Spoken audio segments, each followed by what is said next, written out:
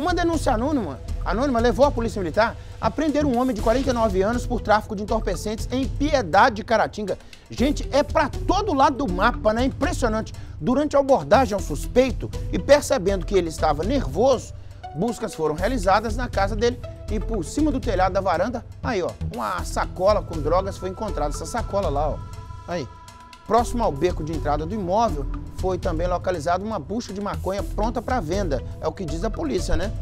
O homem confessou que é usuário de entorpecentes e que encontrou a droga molhada e a colocou no telhado para secar. Ué, é? Ó. Oh. É, aí tem que ver se a polícia acredita e o delegado também, né? Os materiais ilícitos foram apreendidos. A droga estava molhada, encontrei na rua, coloquei ele para secar. Não, enredo qualquer um cria. Pessoal, é, só pode falar à vontade, né? É, tem que, tem que ver se a polícia vai acreditar nisso. É interessante, né?